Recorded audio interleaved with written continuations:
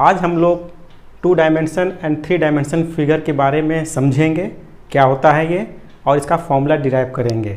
इसके अंतर्गत to dimension में देखिए rectangle square and circle and three dimension में cuboid cube cylinder cone sphere and hemisphere के बारे में देखेंगे।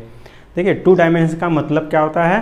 जिसमें टू डायमेंशन हो, जैसे लेंथ एंड ब्रेथ और थ्री डायमेंशन में लेंथ ब्रेथ एंड हाइट तो सबसे पहले टू डायमेंशन के अंतर्गत रेक्टेंगल के बारे में हम लोग देखते हैं। रेक्टेंगल क्या होता है ये?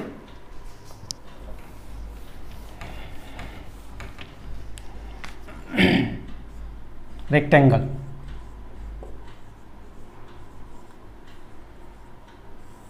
रेक्टेंगल में ये फिगर बना दे रहे हैं। ये फिगर इस तरह का होता है, जिसमें लेंथ और ब्रेथ होता है।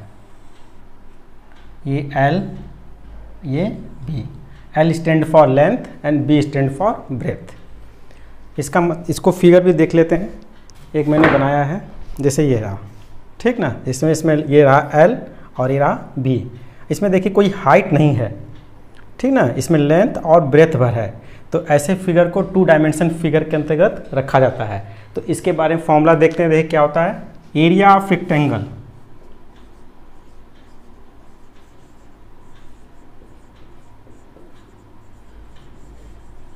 ये होता है length into breadth, L into B. तो इसको लिखते हैं, इसको पहले फॉर्म पूरा लिख लेते हैं। Length into breadth into breadth.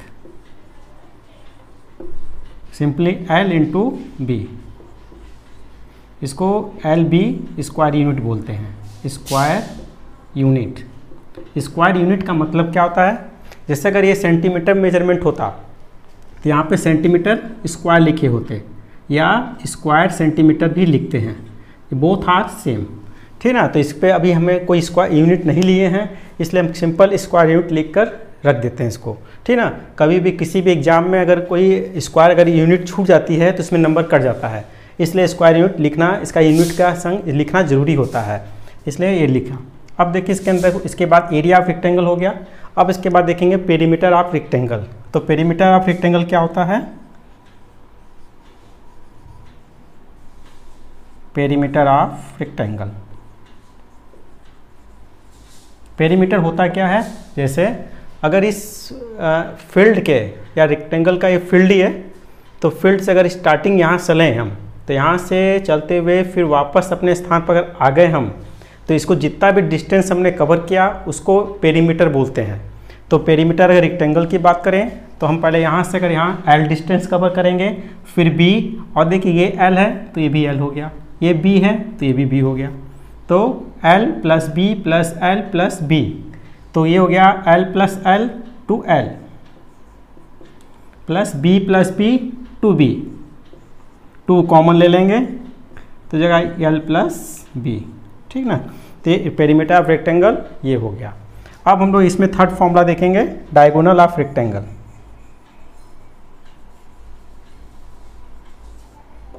diagonal of rectangle diagonal of rectangle होता क्या है?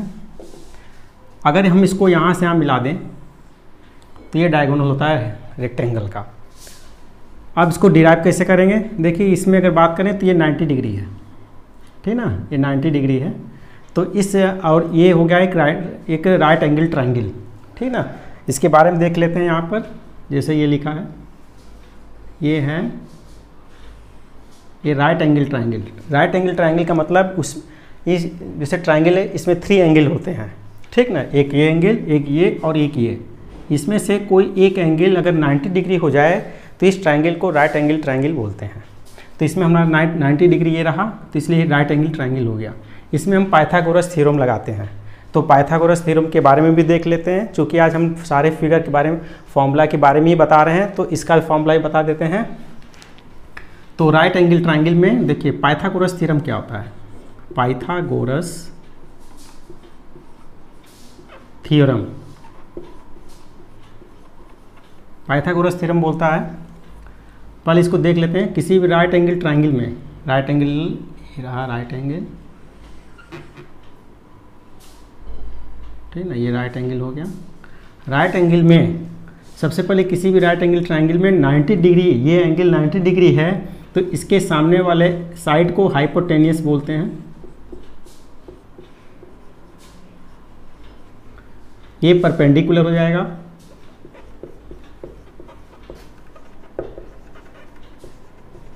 ये बेस होता है। तो पाइथा according to Pythagoras theorem in right in right triangle square of hypotenuse is equal to the sum of square of other two side तो हम इसको लिख के भी बताते हैं। ठीक है, इसमें लिखा है स्क्वायर ऑफ़ हाइपोटेनियस इसको एच लिख लेते हैं, सिर्फ़। Square of hypotenuse is the equal to the is equal to the sum of sum of square of other two side तो इसमें परपेंडिकुलर को पी लिख लिए और बेस को बी लिख लिया। तो ये पाइथागोरस थ्योरम ये होता है। ठीक ना? ये क्लास टेन के सिक्स चैप्टर में एक पाइथागोरस थ्योरम का एक टॉपिक है। उसके अंतर्गत ये लिखा हुआ है। तो पाइथागोरस थ्योरम से हम इसको हल करते हैं। इसको हम डी मान लेते हैं। डी स्टैंड फॉर डायगोनल तो डायगोनल अब इसमें राइट एंगल ट्राइंगल है ये। तो इसमें क्या हो जाएगा? डी का स्क्वायर है ना? डी का square equal to L square plus B square L square plus B square other two side का स्क्वायर का सम तो डी का हो जाएगा, ये स्क्वायर ट्रांसपोज होगा तो स्क्वायर रूट बन जाएगा तो जाएगा L square plus B square तो ये डायगोनल ऑफ़ रेक्टेंगल ड्राइव हो गया. इसके बाद रेक्टेंगल के बाद स्क्वायर देखते हैं. स्क्वायर के बाद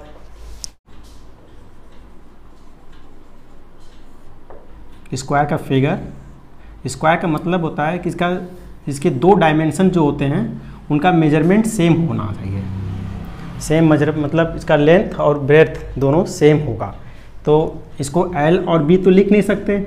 इसका मतलब होता है कि लंबाई अलग, चौड़ाई अलग बट इसमें लेंथ और ब्रेथ सेम है। तो इसको हम एक ए से रिप्रेजेंट कर देते हैं। लेंथ ब्रेथ सब कुछ इक्वल ठीक है ना? तो ये ए और ए होगा। इस तरह हमने भी फिगर ए लिए बनाया। देखिए ये रहा इसमें। ठीक ना? जिसमें सभी कुछ, सभी मेज़रमेंट इक्वल हैं, है ना? ए ये ये हो गया। इस तरह ये, ठीक ना? स्क्वायर हो गया। इसका एरिया ऑफ़ स्क्वायर कितना हो जाएगा? Area of square area of square this into this side into side देखिए साइड इनटू साइड ठीक ना? इसको एज इंटू एज भी बोलते हैं। देखिए अलग अलग बुकों में सब जगह लिखा हुआ है। कहीं ए कहीं ए इसलिए मैंने सब लिख दिया।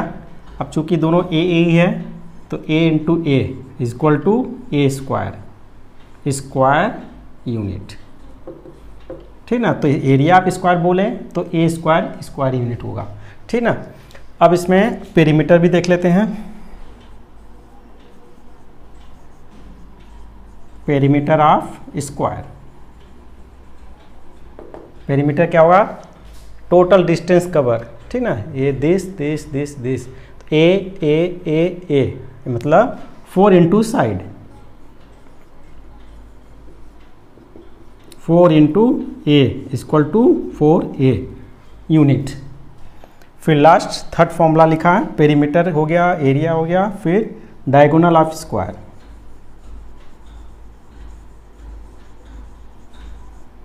diagonal of square diagonal इसको भी हम ऐसे ड्रॉ कर लेते हैं। इसको डी रिप्रेजेंट कर लेते हैं।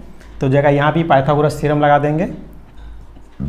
ये रहा 90 डिग्री इसको लिखेंगे D square equal to A square plus A square तो जगह two A square D square ये स्क्वायर ट्रांसफोर हुआ root under two A square तो ए स्क्वायर का स्क्वायर रूट इसमें से बाहर निकल जाएगा ए तो जगह ए और रूट टू रह जाएगा। टू अंदर रूट के अंदर रह जाएगा। तो ये हो जाएगा, इसको सिंपल ऐसे लिखते हैं रूट टू इंटू ए या रूट टू इंटू साइड तो ये स्क्वायर के बारे में भी हो गया। अब सर्किल देखते हैं। सर्कल सर्कल का डायग्राम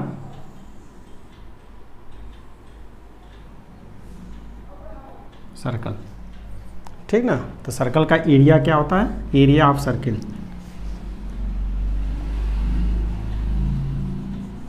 area of circle ये होता है पाई आर स्क्वायर ठीक ना? ये हमने फ़ोटो बनाया एक एक, ये देखिए ये ठीक ना? सर्कल ठीक ना? जस्ट पूरा सर्कल जैसे अगर आप चपाती का एग्जांपल ले सकते हैं। चपाती सर्कल का बहुत अच्छा एग्जांपल है।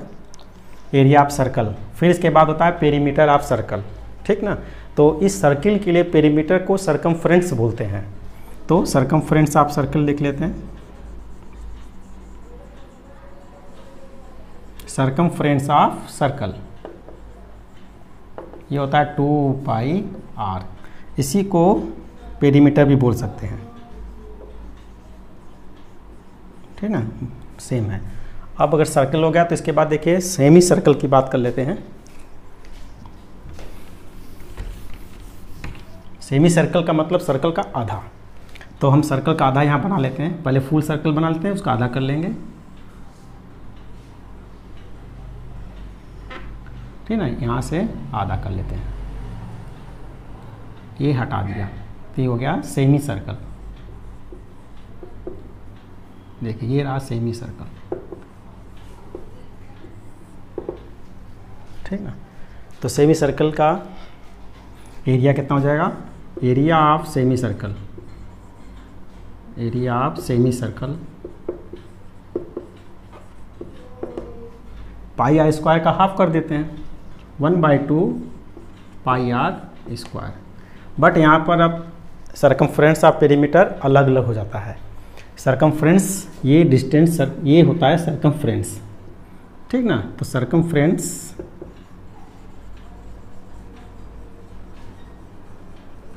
Of semi circle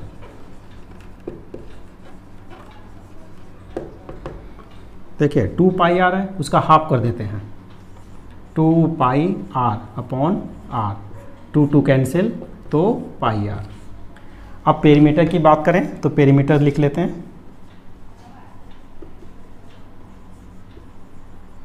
perimeter of semi circle देखिए पेरीमीटर क्या होता है कि हम जहाँ चले हैं, वहीं वापस भी आए। बट सरकम में देखिए, यहाँ से यहाँ तक गए, वापस तो नहीं आए। वापस आने के लिए क्या करेंगे? ये ये डिस्टेंस को यहाँ भी चलेंगे हम लोग। देखिए, ये तो ये यहाँ से चले, ये वापस आए। तो ये हो गया सरकमफ्रेंस तो लिख देंगे पाई आर।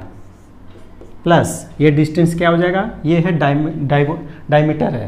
ये डायमीटर ऑफ़ सर्कल तो डायमीटर ऑफ़ सर्कल क्या होता है? टू आर है ना double of radius two R अब इसमें आर आर कॉमन है आर कॉमन लेते हैं पाई प्लस टू या आप टू प्लस पाई भी बोल सकते हैं तो ये हो गया सेमी सर्कल के बारे में। ये टू डायमेंशन फिगर तीन थी, ये समाप्त हो गई। अब थ्री डायमेंशन फिगर के बारे में देखते हैं।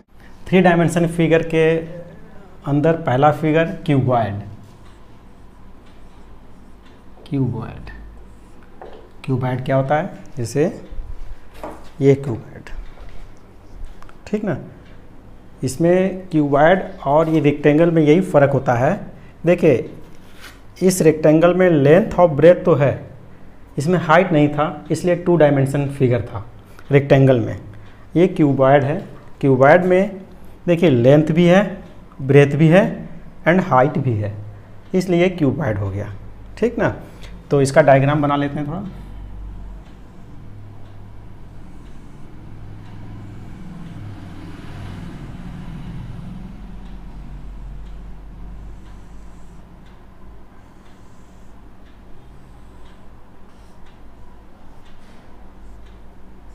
ये क्यूबॉइड हो गया। ठीक ना?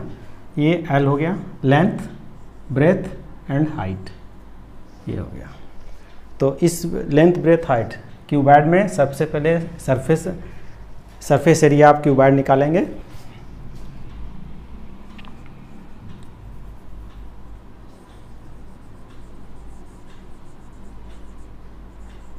सरफेस एरिया ऑफ़ क्यूबॉइड देखिए, क्यूबॉइड में इस सरफेस एरिया सरफेस एरिया का मतलब क्या होता है, ये हम आपको बता देते हैं। देखिए, इस क्यूबाइड में अगर देखें तो सिक्स सरफेस है। सिक्स रेक्टेंगुलर सरफेस है। सिक्स रेक्टेंगुलर सरफेस है। जैसे ये top bottom front back side और दिस साइड ठीक है one two three four five six six rectangular surface है। अगर इन सिक्स रेक्टेंगुलर सरफेस का अगर एरिया निकाल कर अगर जोड़ दें तो सरफेस एरिया ऑफ़ क्यूबाइड ज्ञान पता चल जाएगा। ठीक ना? तो सबसे पहले इसे सबका अलग अलग करके निकाल के हम बता देते हैं। देखिए।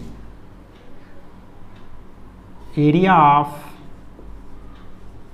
रेक्टेंगल वन देखिए इस, इसको हम वन बोल रहे हैं इसको इसको वन देखिए मैंने यहाँ लिख रखा है, यहाँ एल लिखा है, ये बी ठीक ना, ये एल लेंथ है और ये ब्रेथ है।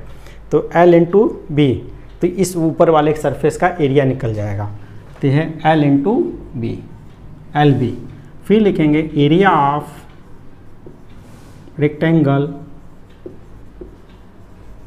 two two किसको ले लेते हैं? इसके जस्ट पीछे वाले को। तो जो एरिया ऊपर वाले का रहेगा, वही नीचे वाले रेक्टेंगुलर सीट का रहेगा। रहेगा, इसलिए एल इंटू बी इसको भी लिख लेते हैं। फिर एरिया ऑफ़ रेक्टेंगल थ्री तो थ्री क्या हो जाएगा? ये हम सामने वाले को ले लेते हैं। देखिए, सामने वाले में भी ये लेंथ और ये हाइट ठीक ना? L into H L into H या एच इंटू एल ठीक ना? Area of rectangle four. इसके जस्ट पीछे वाले को फोर ले ले रहे हैं। जो एरिया इस रेक्टेंगुलर सेट करेगा, उसी का ये भी रहेगा। तो ये भी एल इंटू एच हो गया। फिर अब ये साइड वाले बचे। साइड वाले का भी लिख लेते हैं। Area of rectangle five five में देखिए, इस वाले का हो जाएगा। Breadth into height B into H फिर area of rectangle six area of rectangle six same B into H अगर इन सबको जोड़ा जाए, देखिए क्या आता है। L B L B two L B plus फिर जगह ये two B H two times of B H plus two times of H L ठीक ना? Two times of H L L H बोलें, चाहे एल एच एल बोलें, कोई दिक्कत नहीं। ठीक ना? इसमें टू टू टू कॉमन है टू निकाल लेते हैं। तो जगह two L B two times into B H plus H L ये अपना सरफेस एरिया ऑफ़ क्यूबॉइड निकल गया। ठीक ना? इसके बाद आता है lateral surface area of cuboid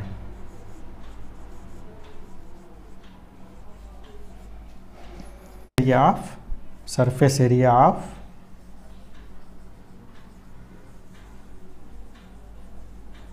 cuboid देखिए लेटरल सरफेस एरिया मतलब क्या होता है?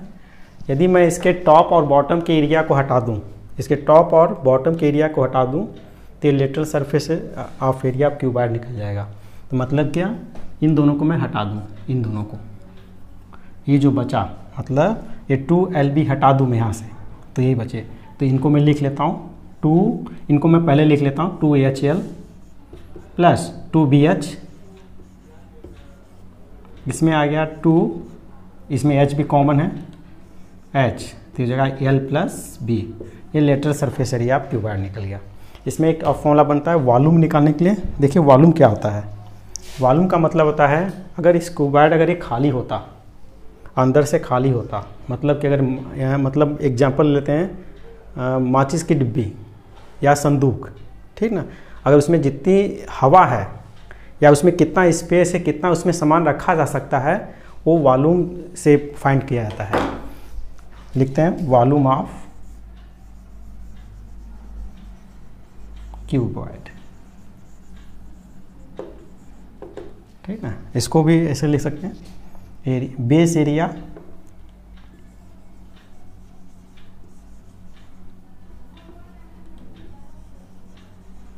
into height base area मतलब नीचे वाले का एरिया कितना हो जाएगा? Length into breadth length into breadth और हाइट तो हो गया एल बी एच ठीक ना? L into B H into लिख लेते हैं। L into B into H ठीक ना? ये हो जाएगा क्यूब यूनिट ठीक है एक डायमेंशन आप जुड़ जाने के कारण ये क्यूब हो गया तो क्यूब डायमेंशन एक क्यूब ऐड खत्म हो गया, अब क्यूब देखते हैं। जिसके तीनों मेज़रमेंट सेम इक्वल होते हैं। लेंथ ब्रेथ हाइट भी इक्वल होता है तो इसलिए इसको ए ए ए लिख लेते हैं। ठीक ना? ये रहा फिगर में जैसे ये रहा। ठीक ना? इसका length breadth and height all are equal measurement तो इसका लिख लेते हैं। Surface area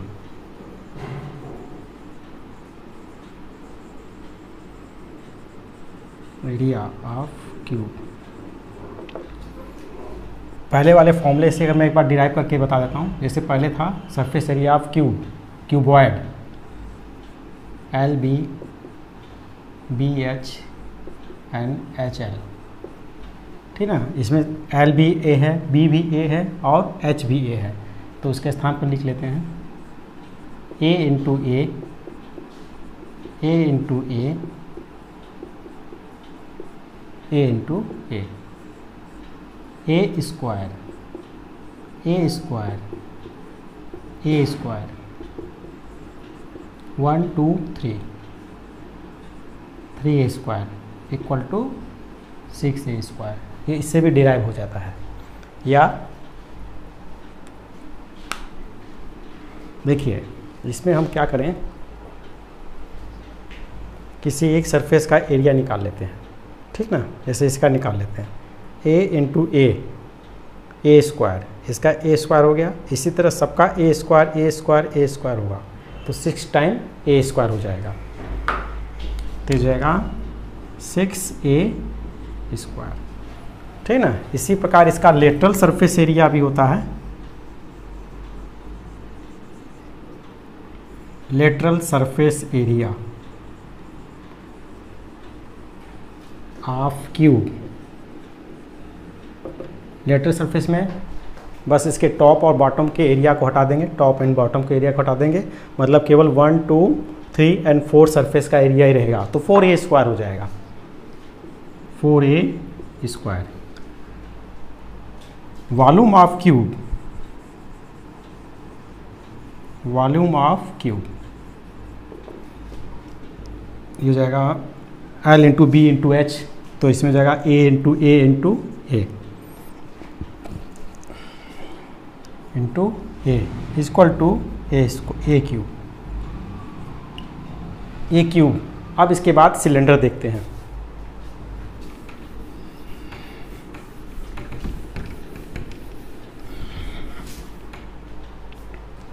सिलेंडर सिलेंडर इसको लिखते हैं right circular cylinder right circular cylinder. इसको सिंपली सिलेंडर भी कॉल करते हैं। राइट सर्कुलर क्यों बोलते हैं? देखिए। एक सर्कल सिलेंडर बनाया इस तरह का। ये सर, सिलेंडर हो गया। ठीक ना? सर्कल में है। एक सर्कल ऐसे सिलेंडर भी बना सकते हैं हम लोग।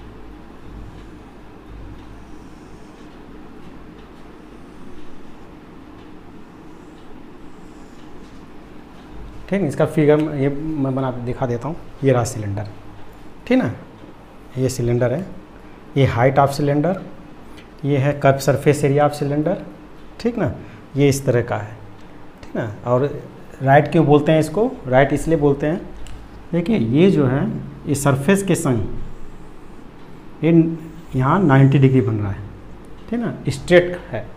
बट इसमें सरफेस के संग, ये कुछ एंगल के संग ये 90 डिग्री नहीं है, परपेंडिकुलर नहीं है, इसलिए ये राइट सर्कुलर सिलेंडर नहीं है। और इसके बारे में स्टडी हम लोग नहीं करेंगे, हम लोग सिलेंडर यही, इसी सिलेंडर को लेके चलेंगे। ठीक ना? ये हो गया, ये बेस रेडियस, यानी ये हाइट, ठीक? अब इसमें आता है कर्व सरफेस एरिया। देखिए, सिलेंडर में दो प्रकार के सरफेस एरिया होता है, कर्व सरफेस एरिया, ठीक ना? जैसे ये चीज़ जो है, ये कर्व सरफेस एरिया ये। कर्व मतलब टेढ़ा, मुड़ा मुड़ा हुआ। और ये जो दो ऊपर है, ये फ्लैट सरफेस ये फ्लैट सरफेस एरिया है। ठीक ना? तो जब कर्व सरफेस एरिया निकालेंगे तो केवल इसी को निकालेंगे। और जब टोटल सरफेस एरिया निकालेंगे तो इस कर्व सरफेस एरिया को, इन दोनों को भी ऐड करेंगे। तो टोटल सरफेस एरिया निकल जाएगा। तो इसको इस एरिया निकालने के लिए क्या करेंगे? देखिए, एक एक रेक्टेंगुलर सीट ले लिया। इसको पहले इसकी तरफ़, चारों तरफ़ लपेट लिया। यहाँ से लपेट लेते हैं। देखिए, ये लपेट लपेट गया। एग्जैक्ट इसके मेज़रमेंट का आ गया। ठीक ना? अब देखिए, इस रेक्टेंगुलर सीट को जब ओपन करेंगे, ये ओपन किया, ये रेक्टेंगुलर सीट तो इस रेक्टेंगुलर सीट की ये जो ब्रेथ है ब्रेथ हो जाएगा हाइट ऑफ़ सिलेंडर की इक्वल तो इस ब्रेथ को एच लिख लेंगे। और ये जो ये जो लेंथ है ये ये लेंथ क्या हुआ? जब हमने इसको लपेटा तो एरिया ऑफ़ ये सरकम फ्रेंड्स का बराबर इसका लेंथ हो जाएगा। ठीक ना? सरकम फ्रेंड्स ऑफ़ बेस ठीक? तो इसको ओपन कर लेते हैं। अगर मैं इसका एरिया निकाल लूँ तो इस curve surface area of cylinder भी निकल जाएगा। तो इसका इसको बात करते हैं, देखिए। इसको ज़रूरत नहीं, इसको मिटा देते हैं। यहाँ पे एक सीट लगाया। ये लगा इसको ओपन किया। ये रहा रेक्टेंगुलर सीट ठीक ना? तो अगर मैं बोलूँ इसको curve surface area surface area of cylinder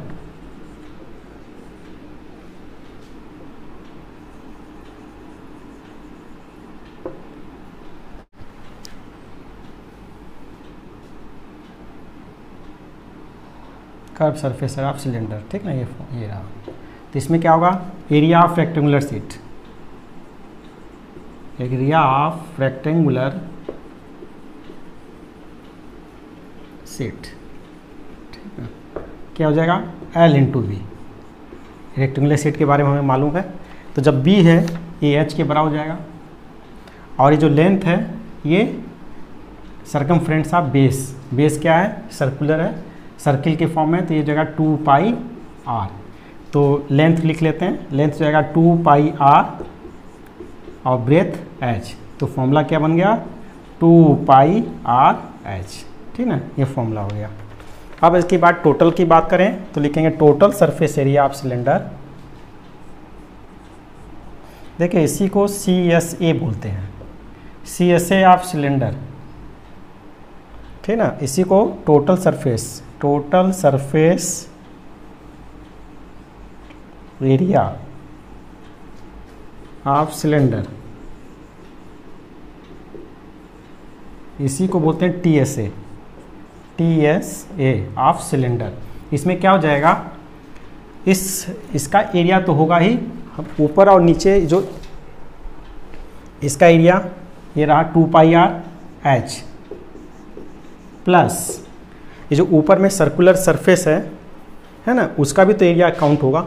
तो ये जगह पाई आर स्क्वायर इस सर्कुलर का पाई आर स्क्वायर और इस नीचे का भी तो pi R square pi R square two pi R square तो इसमें हम कॉमन निकालते हैं टू पाई आर कॉमन है।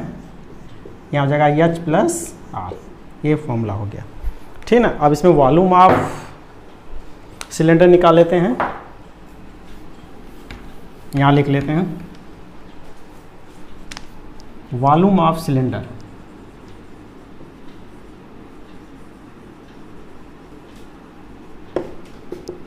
Base area.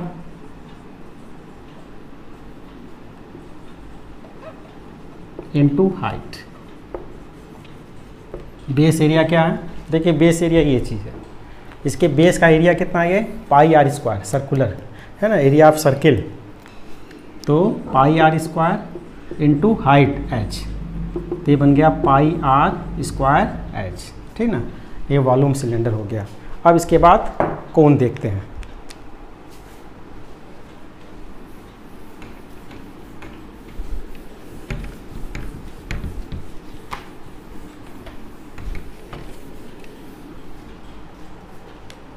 कौन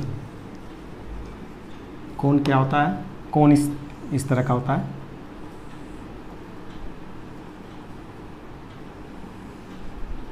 ठीक है ना? एग्ज़ाम्पल देख लें। ये रहा ये रहा कौन ठीक ना? जिसका बेस सर्कल में है और जो टॉप है, वो टिप के फॉर्म में है। ये टिप के फॉर्म में ठीक ना? ये हो जाएगा कौन में ये परपेंडिकुलर हाइट होती है, ये बेस रेडियस होता है और ये एल जो होता है, ये स्लैंट हाइट होता है। ठीक? तो H equal to perpendicular height इसको परपेंडिकुलर बोलते हैं। Perpendicular height L slant height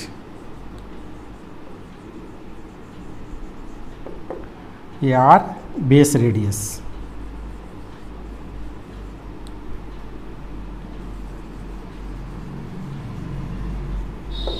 ठीक ना? तो इसमें सबसे पहले कर्व सरफेस एरिया निकालते हैं। ये रहा कर्व सरफेस एरिया ठीक ना? तो लिखेंगे curve surface area curve surface area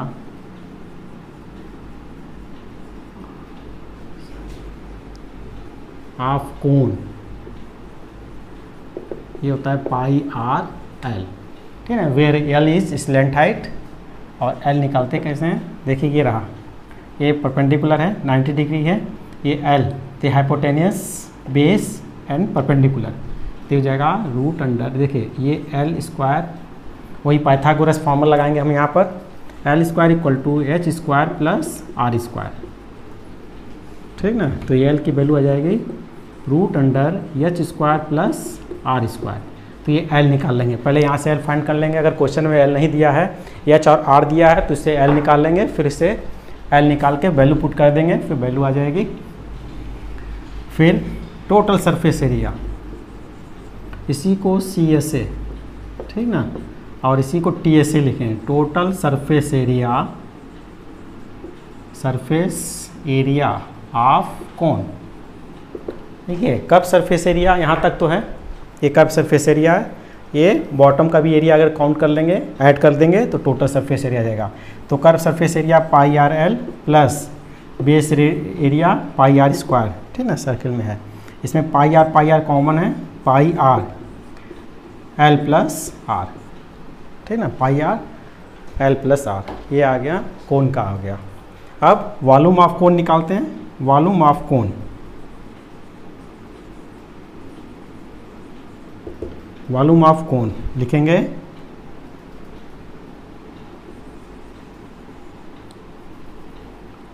one by three pi R square H.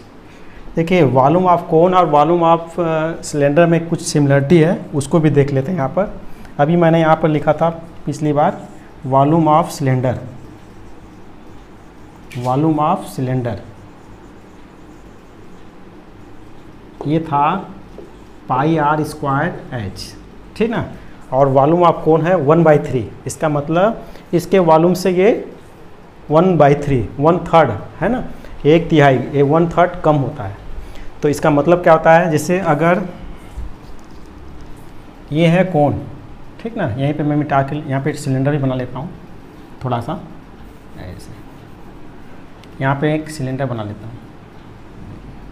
Same height का होना चाहिए। ठीक ना? ये सेम हाइट का एच होना चाहिए। बेस आर होना चाहिए। यदि इसमें से, अगर इसमें से, इसमें पानी भर कर अगर इस सिलेंडर में डाला जाए तो इसमें से अगर तीन बार पानी डालेंगे तो ये सिलेंडर पूरी तरह भर जाएगा। या इस सिलेंडर में से, इसमें इसमें से पानी भर के इसमें भरेंगे तो ये तीन बार भर जाएगा, क्योंकि ये one by third one third है ये। ठीक ना? तो यही सिमिलरिटी होती है। तो इसका एक तिहाई वन थर्ड हो जाता है ये। ठीक? कौन? कौन ख़त्म? इसके बाद स्फेयर देखते हैं। Sphere sphere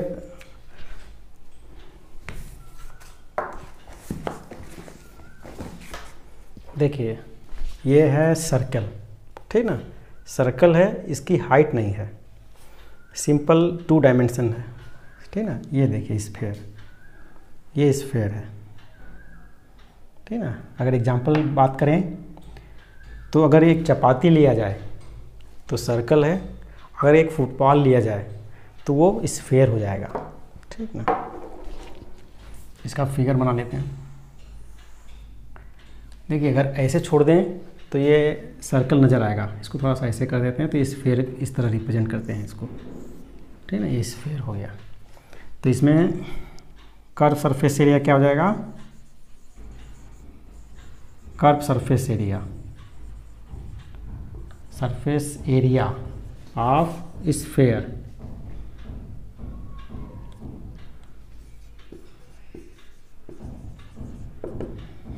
four pi R square. ठीक?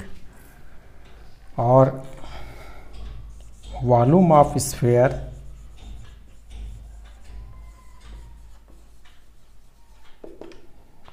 four by three pi R cube. इसके बाद हेमिस्फेयर देखते हैं। हेमिस्फेयर। हेमिस्फेयर का मतलब इसका आधा। आधा इस तरह का। ठीक ना? जैसे अगर कोई एक तरबूजा लिया जाए, गोला वाला। गोले तरबूजे का तो स्फेयर के फॉर्म में है तो ये फॉर्मूला लगेगा। अगर उस तरबूजे को काट दिया जाए, आधा कर दिया जाए, इस तरह का बनेगा। ठीक ना? तो ये हो जाएगा कर्व सरफेस एरिया से या कर्व लिखने की भी ज़रूरत नहीं पड़ती यहाँ पर, क्योंकि कर्व होता ही है। इसका कोई फ्लैट सरफेस नहीं होता है, इसलिए सिंपल इसको सरफेस एरिया भी लिख सकते हैं। ठीक ना? तो यहाँ लिखेंगे surface area of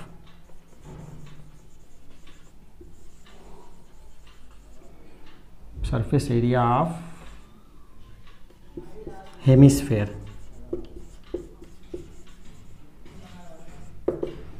half कर देते हैं इसको। Two pi R square. फिर यहाँ पे लिखेंगे टोटल सरफेस एरिया ऑफ़ इसको यहाँ पे कर्व लिख लेते हैं, क्योंकि यहाँ पे दो सरफेस मिल गया इसको। Curve total surface area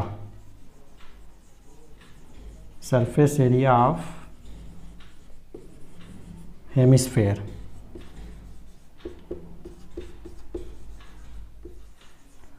ये हो जाएगा, देखिए। ये यहाँ से यहाँ तक टू पाई आर स्क्वायर है। बट ऊपर भी एक टू, एक तो सर्कुलर एरिया मिल गया अपने को। ठीक है तरबूजा काटेंगे तो जस्ट इस फ्लैट सरफेस एक ऊपर का मिलेगा। वो हो जाएगा पाई आर स्क्वायर। तो कुल हो जाएगा थ्री पाई आर स्क्वायर। ठीक है? यहाँ पर थ्री डायमेंशन की फिगर समाप्त होता है। Thank you